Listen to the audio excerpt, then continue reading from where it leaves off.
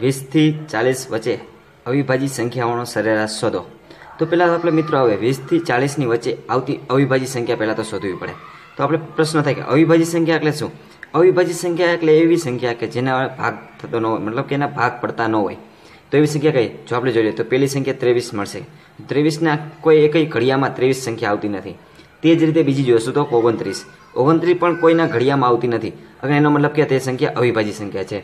હજી આગળ જોઈએ તો હજી આગળ આપણે એકત્રીસ નંબરની સંખ્યા જોવા મળશે કે જે કોઈના ઘડિયામાં આવતી નથી. એનો મતલબ કે એકત્રીસ નંબર એ અવિભાજ્ય સંખ્યા છે. અને હજી એક સંખ્યા આવશે સાડત્રીસ. સાડત્રીસ પણ કોઈના ભાડામાં આવતી નથી, એટલો મતલબ કે સાડત્રીસ પણ અવિભાજ્ય સંખ્યા છે. એનો મતલબ કે આપણી પાસે વીસથી ચાલીસની વચ્ચે આપણે ચાર સંખ્યા મળે છે. કેટલી? કે ત્રેવીસ, ઓગણત્રીસ ને એકત્રીસ અને સાડત્રીસ. આ ચાર સંખ્યા એવી છે કે જે અવિભાજ્ય સંખ્યા છે. તો આનો આપણે સરેરાશ શોધવાનો છે. તો સરેરાશ શું થાય? કે બધી સંખ્યાનો સરવાળો ભાંગ્યા, કુલ સંખ્યા કુલ સંખ્યા કેટલી છે? તો કુલ સંખ્યા ચાર છે. તો આપણે ત્રેવીસ વત્તા ઓગણત્રીસ વત્તા એકત્રીસ વત્તા સાડત્રીસ કરશું. જો આપણે સરવાળો કરશું, તો સરવાળો બરાબર થશે એકસો ને વીસના છેદમાં ચાર. તો એકસો વીસના છેદમાં ચાર કરીએ, તો કેટલા થશે?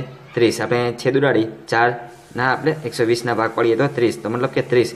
તો આપણે પાસે વીસથી ચાલીસ વચ્ચે અવિભાજ્ય સંખ્યાનો સરેરાશ મળ્યો, મિત્રો. ત્રીસ.